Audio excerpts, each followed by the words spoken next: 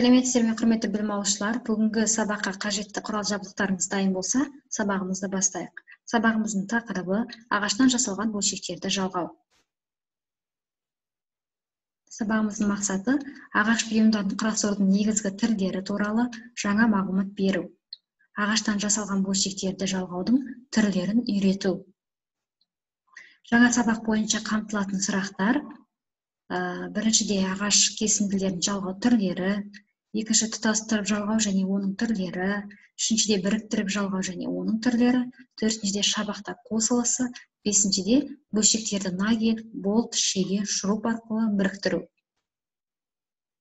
Студенттер мына бізде бүгінгі жаңа сабағымызға қатысты жаңа терминдер. Бұл ағылшын тілінде берілген. Бұны сіздер жұмыс дәптерлеріңізге жазып келесі сабақта жаттауларыңыз керек. Келесі ағаш кесінділерін жалғау. Негізгі үш әдіс арқылы ағаштың кесінділері жалғанады. Біріншіде тұтастыру арқылы біріктіру арқылы екінші үшіншіде қиюластыру арқылы. Яғни тұтастыру арқылы ішінен үш түрге бөлінеді төрт түрге бөлінеді. Ол ұштық мұртша тәрізді тісті және баспалдақты бұл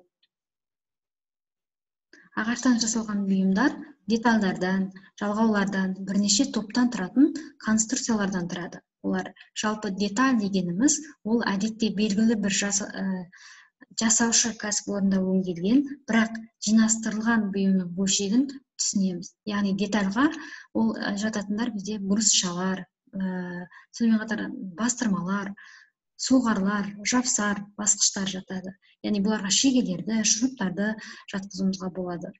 Жалпы бөлік яғни деталь. Ол бөлік иә? Бұл бөлік бір бірімен желім бұранда шеге болат арқылы бірігетін құрамды бөлшектерді біз бөлік деп атаймыз.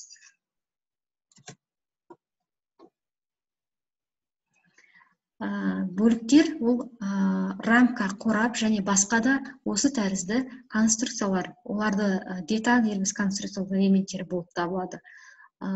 Келесі бізде топ яғни ол бұйымның құрамдас бөлшектерінің бірігуі топтың құрамына бөліктер мен детальдардың енуі бір топ болып саналады. Брусша деп отырғанымыз ол қарапайым деталь. Оның өлшемі тілінуі мен формасы әртүрлі болып келеді. Көріп отырғандарыңыздай оныншы суретте. Ол тұтас бір ағаштан ілінуі мүмкін немесе желімделген яғни әртүрлі ағаштан тілініп жасалуы мүмкін. Олар ені қалыңдығы немесе ұзындығы бойынша құрастырылған болады. Көріп отырсыздар. Ағаштан жасалған детальдарды жалғау ол ағаш кесінділерін ұзыннан жалғау тұтастыру деп аталынады. Ал ағашты ұзыннан тұтастырудың бірнеше түрі белгілі. Олар тістес, тістестіріп желімдеп жалғау және тағы басқа. Яғни біз ағашты тістестіріп жалғаймыз желімдеп жалғаймыз шуруппен шегемен әртүрлі жалғаулардың түрлерімен біз танысып отырмыз. Иә ең мықты осы жалғаулардың ішіндегі ең мықтысы ол тістестіре жалғау болып табылады екен. Шабақтар арқылы біріктіру яғни ағаш шеберлігі бұйымдарын дайындау кезінде детальдарды ұзыннан жалғаудың тістестіре жалғау қолданылады. Желімдеп болғаннан кейін ә, жоспардағы саңылаудың мөлшері шабақтың ұзындығының үш пайызынан аспауы тиіс. Бұл жерде көріп отырсыздар ұзындығы бойынша кеспелдек ағаш тақтайларды желімен біріктірген яғни бұл жерде бетпе бет біріктірген ағаштарды тұтастай ә, жекелей және де ә, ағаш бөлшектерін ә, қиыстыра біріктірген түрлерін көріп отырсыздар. Тақтайларды бөліктердің жиектері бойынша біріктіру яғни біз бөліктерге бөліп және оның жиектері бойынша түйістіріп біріктіру түрі. Және осы ә, біріктірулер арқылы ағаштан ағаштарды қарапайым өздерін ағаштың өзін ғана біріктіру арқылы бұл жерде міне ағаштан үй жасаған біріктіру арқылы. Яғни бұл жерде бізде ә, жаңағы біріктірудің неше түрін қолданған. Шабақтар қосылысы ол екі түрге бөлінеді. Шабақ ойық немесе құлақша яғни бұрышты ұштарды біріктіру. Ағаштарды біріктірген кезде бұл жерде біз үйді біріктірген кезде көбінесе осы ағаштың бұрышты ұштарын біріктіру әдісін қолданған. Бұрыштық ортаны біріктіру жаңағы ағаштардың бұрыштарын біріктіру және бұрыштық орта қалыптастыра біріктіру. Бұрыштық жәшікті біріктіру. Элементтерді жаңа біз ағаштың бұрышын біріктірдік бұрышты орта қылып біріктірдік ағаштың өз өзімен желім арқылы біріктірген болсақ қазір біз элементтерді нагель болат шеге арқылы біріктіру түрлерін қарастырайық. Яғни ағаштарды біз тек ағаштардың өздерін ғана біріктірдік иә ағаштың өзін желім арқылы біріктіріп үйді жасадық. Ал қазір белгілі бір детальдардың көмегіменен элементтердің көмегіменен біріктіреміз. Олар нелер? Нагельдер болаттар және шегелер. Яғни ағаш конструкциялардың элементтерінен нагель болат шеге және желім арқылы біріктіруге болады. Олар нагель арқылы біріктіру яғни цилиндр тәрізді ағаш немесе болат шеге ол нагель деп отырғанымыз студенттер. Детальдарды нагельдер арқылы нақты есеп бойынша біз біріктіреміз. Яғни ол үшін біз нақты есеп жасау үшін біріншіде осы ағашымыздың бетіне нагель қоятын жерімізді белгілеп аламыз.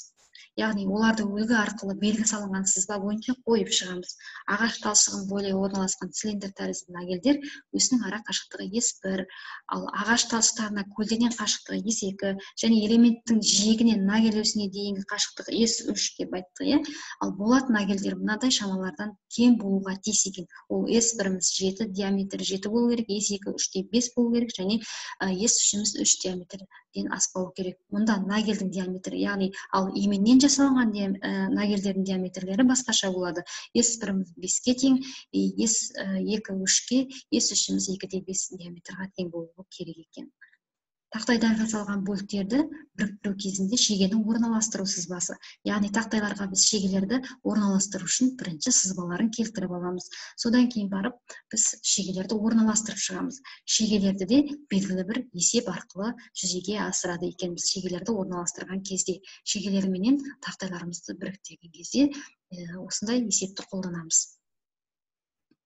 Шуруптарды бойлық қатар және шахмат тәртібімен орналастыру сызбасы міндетті түрде бұл шуруптарды бойлық қатар немесе шахмат тәртібімен орналастырып осы ағаш бөлшектерін байлайды екенбіз.